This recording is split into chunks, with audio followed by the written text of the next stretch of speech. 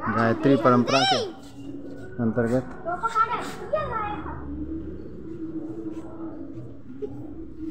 परंपरा के अंतर्गत शादी के लिए, जो कि 12 से 4 बजे आयोजित की गई है, यज्ञशाला में सारी तैयारियाँ पूरी होती हुई, गुप्ता जी, गुरुदेव, अजय शर्मा जी और एक और पंडित जी तैयारियाँ पूरी करते और ये आतिया तालाब सूर्य की रोशनी में नहाया हुआ आतिया तालाब बाबा की अतु की कृपा महाकाल की प्रेरणा ने इस स्थिति तक पहुँचाया आज। सो गाइस आज हम लोग हॉस्पिटल ये देखिए मेन गेट के ऊपर शिखर के दर्शन। जय महाकाल जय गुरुदेव।